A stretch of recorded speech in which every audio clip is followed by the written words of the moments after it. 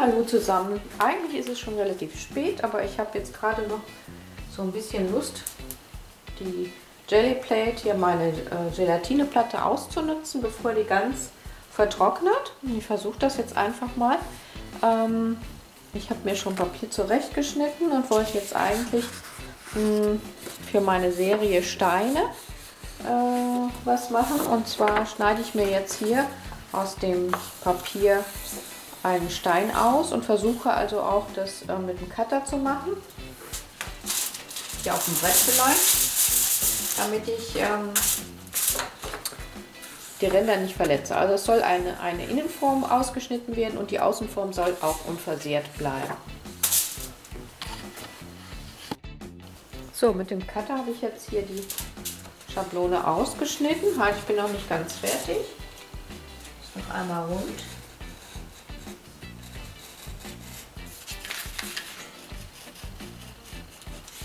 ich sie durch.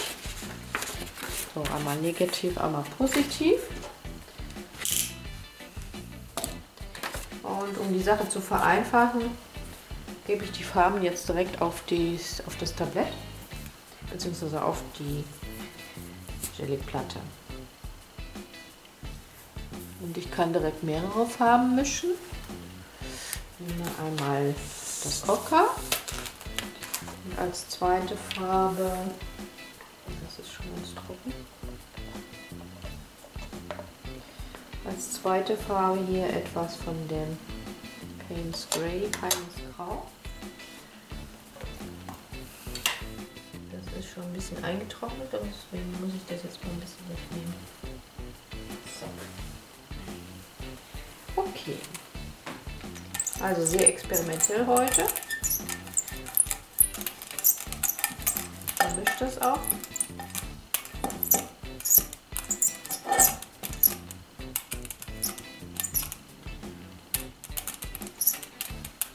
die Grundlagenfarbe. Jetzt könnte ich da noch Strukturen reinbringen. Und zwar ich mir zum zusammengeknüdeltes Tuch und tupfe da mal einfach so rein. Knüdel das noch ein bisschen anders. Tupfe da noch mal rein. So. Dann könnte ich noch mit einem ganz runden, nicht spitzen Bleistift, um die, die Oberfläche nicht zu verletzen, da noch so Linien rein zeichnen, sozusagen. Und dann lege ich einfach mal hm, ja, ich drucke jetzt erstmal das komplette Blatt.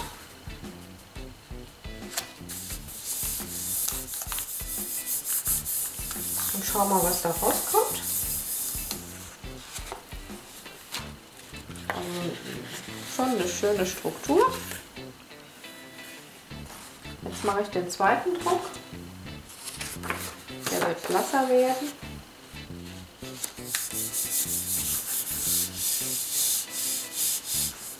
Okay. Immerhin aber auch noch schön. So, ich könnte die Rolle jetzt etwas sauer machen, wenn ich mit anderen Farben arbeite. Und dann noch eine zweite Farbe auflegen. Oder aber ich mache es mir ganz einfach. Ich lasse das jetzt einfach so. Und ähm, walze die, die Platte jetzt einfach mal mit einer weißen Farbe ein. Gebe also etwas Weiß drauf. Eigentlich bräuchten wir die nur auf den Hintergrund. In die Mitte brauchen wir die gar nicht. Also mehr an die Seiten. Wir können das reinweiß nehmen. Wir können aber auch noch mal ein bisschen von dem Ocker dazugeben. So an verschiedene Stellen. Ich stufe das jetzt einfach mal so drauf. Dann kann man das besser verteilen. Na, das ist schon ein bisschen fester. So, dann wird das so ein Cremeweiß. Diese Streifen können da ruhig drin bleiben. Finde das die, die Streifen von den Rändern von der, in der Rolle. Ich kann da auch noch weitere Streifen zu machen, indem ich ganz vorsichtig hier mit, dem, mit der Kante drüber gehe, ohne dass die Gelatine einzuritzen. Ganz vorsichtig. Mach so ein bisschen Struktur, ziehe das noch mal ein bisschen glatt, ganz vorsichtig. So, jetzt gebe ich, suche ich mir eine schöne Stelle aus, wo dieser Stein dann hin soll. Nehme diese Positivschablone, lege die auf diese Stelle und halte es so fest, setze hier unten an und lass oben los. Drück fest, an den Rändern auch. Und schauen wir mal, wie das so aussieht. Wir lupfen das mal ein bisschen. Ja, das kann noch ein bisschen weiter angedrückt werden.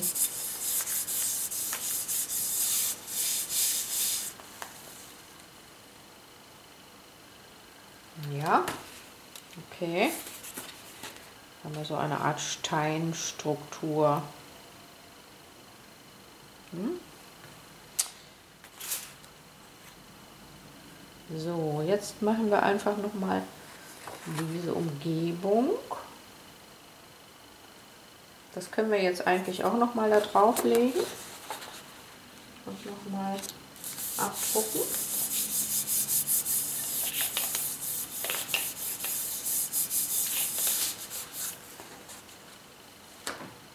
Ist etwas blasser. Können wir vielleicht noch mal ein bisschen intensivieren. So, diesen hellen Stein. Den könnten wir jetzt auf ein farbiges Blatt drucken.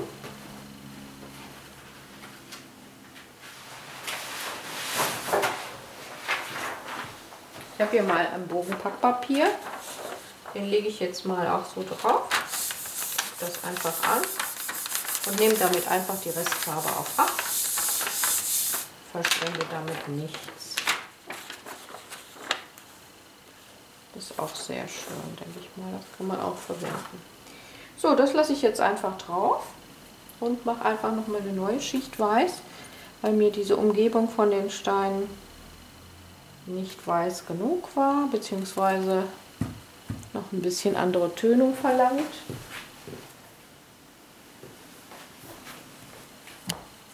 Hier auf dem Auf der Alufolie rolle ich mal ein bisschen von dem Umbra gebrannt aus. Die ganze Rolle da ein bisschen mit eingewalzt ist und nehme das mit zu dem Weiß dazu. Dann ist das so ein bisschen gebrochenes Weiß. So. Das kann jetzt ruhig auch relativ dick aufgetragen werden, weil das ja auch deckend sein soll. So. Jetzt muss ich allerdings hier Wenn ich hier nochmal drüber drucken möchte, und das möchte ich, damit diese, diese Felder weg sind, äh, müsste ich den, die Positivschablone hier nochmal genau drauflegen. Weil diese Partie muss ich ja schützen. So. Dann drehe ich das Ganze rum. Und lasse es. Oh, ich glaube, es hat sich leider verschoben ein wenig. Das wird jetzt in die Hose gehen. Hm. Naja, wir drucken das jetzt trotzdem mal. Das ist leider ein bisschen verschoben.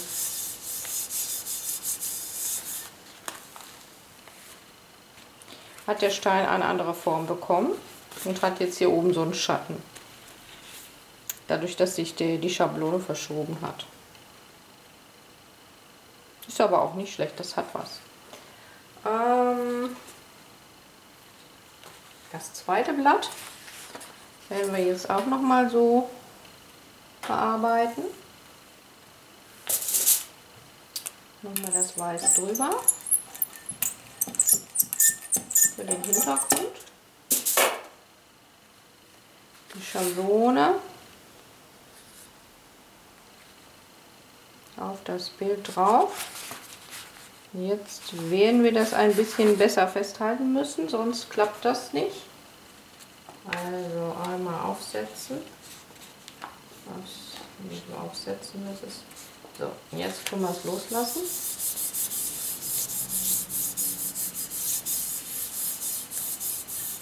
So, der zweite.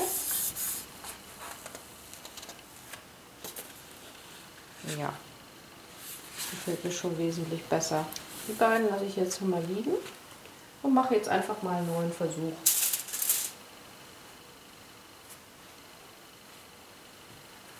Und das geht jetzt im Zeitraffer.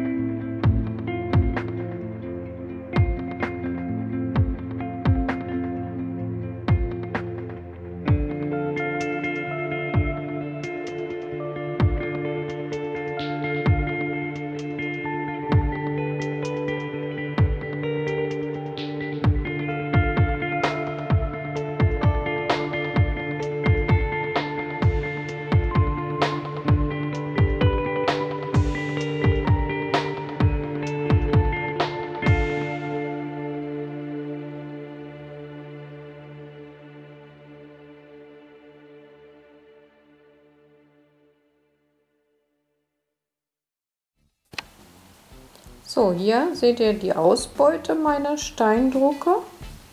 Ist also eine ganze Menge bei rumgekommen. Ich weiß nicht, ob ich da alle von behalte, aber es war auf jeden Fall eine spannende Erfahrung und ich zeige euch jetzt mal einzelne in, nah, in Nahaufnahme.